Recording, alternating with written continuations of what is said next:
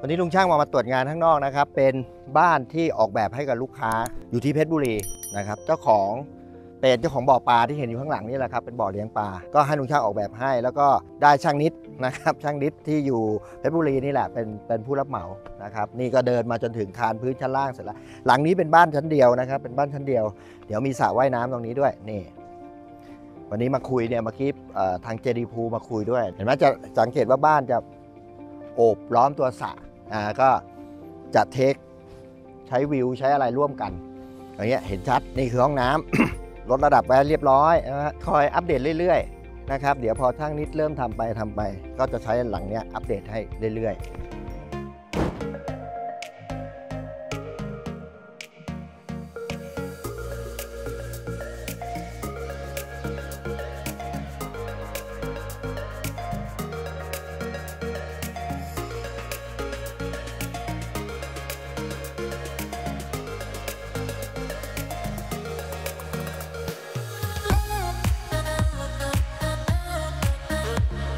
ลิปนี้ลุงช่างพามาดูบ้านมาตรวจบ้านกัน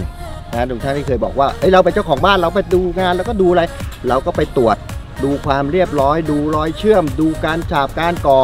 เดี๋ยวลุงช่างก็จะพาดูว่าเออมาตรวจแล้วก็ตรวจดูอะไร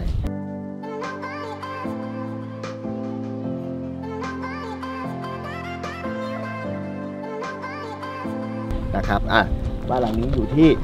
จังหวัดเพชรบุรีนะครับทีมลุงช่างออกแบบ แล้วก็ตัว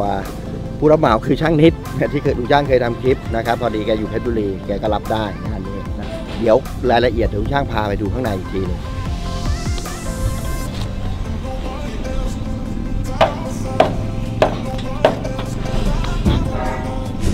ก็ตอนนี้หมู่หลังคาเสร็จแล้วเดี๋ยวลุงช่างจะพาดูจุด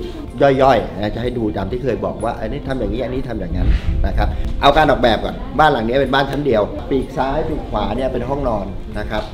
มีห้องนอนใหญ่ห้องนอนลูกชายสองคนนะครับ แล้วก็จะสังเกตว่าที่ลุงช่างยืนตรงเนี้ยมองข้างหลังเนี่ยเป็นห้องใหญ่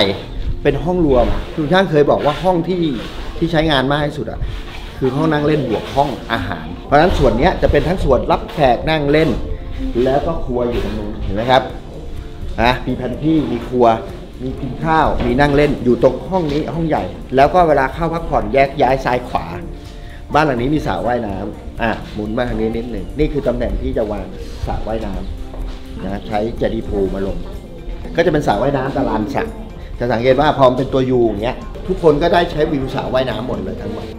มันจะโล่งใหญ่มากนะครับหน้าต่างก็ตีมกันออกแบบก็ประมาณนี้ เนื่องจากสเปซที่เนี่ยมันโล่งนะครับเจ้าของเป็นเจ้าของบ่อปลาเดี๋ยวพาไปดูข้างนอก เพราะฉะนั้น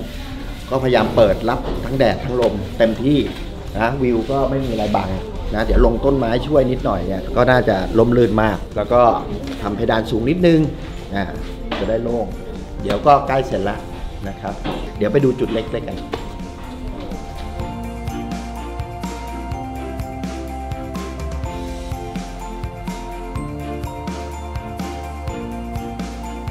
อะ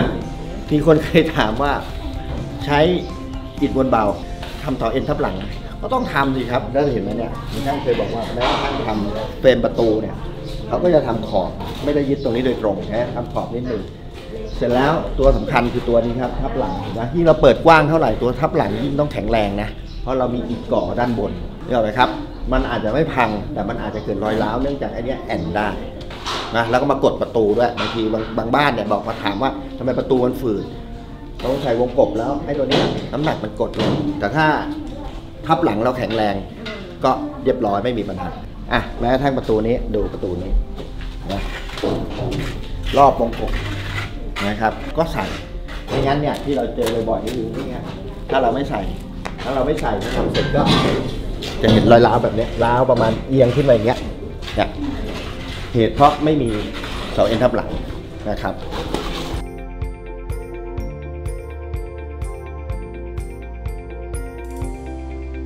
คาดบ้านหลังนี้เป็นกระเบื้องของ SCG นะครับอุปกรณ์ก็เลยเป็นของ SCG เลยก็เอาเพียวๆ ใหญ่ๆ หน่อย จบไม่ต้องไม่ต้องมานั่งถักนะครับ เหมือนเดิม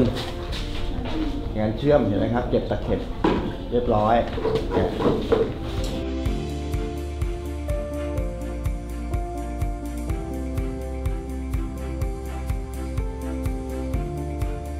อีกอันหนึ่งลานมาดูนี่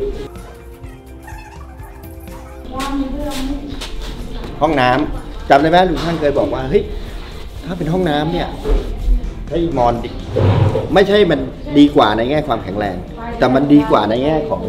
เดี๋ยวตอนเราเจาะท่อยึดอุปกรณ์อะไรต่างๆ เนี่ย มันจะให้ความแข็งแรงมากกว่า ตัวอิฐมันไม่ได้แข็งแรงกว่าอิฐมวลเบาแต่ลองดูนะ ผนังของอิฐมอนเนี่ยมันมีสัดส่วนของที่เป็นเนื้อซีเมนต์เนื้อปูนอะปูนก่อเยอะ เพราะนั้นตัวแข็งแรงนี่ยมันคือตัวปูน นะครับ เพราะนั้นห้องน้ำเนี่ยเวลาเดี๋ยวเราต้องผ่าท่อยึดก๊อกยึดเคาน์เตอร์อะไรพวกเนี้ยมันจะแข็งแรงหน่อยนะครับ ก็เลยแนะนำส่วนใหญ่ว่าเฮ้ยตรงห้องน้ำเนี่ยใช้อิฐมอญ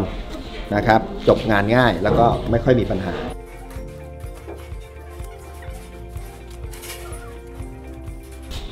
อะมุมนี้ก็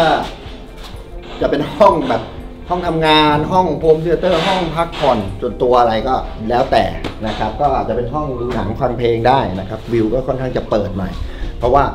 เอ่อเขาต้องการห้องนอนแค่สามห้องมันพอละ มันก็จะได้เหลือมุมนี้ทุกท่านก็เลยบอกเฮ้ยเดี๋ยวมุมมุมเนี้ยสวย เก็บเป็นห้องที่ไว้เอ่อ family แบบ home theater อะไรเงี้ยสวยนะครับเห็นไหมได้วิวหมดทุกด้านเลย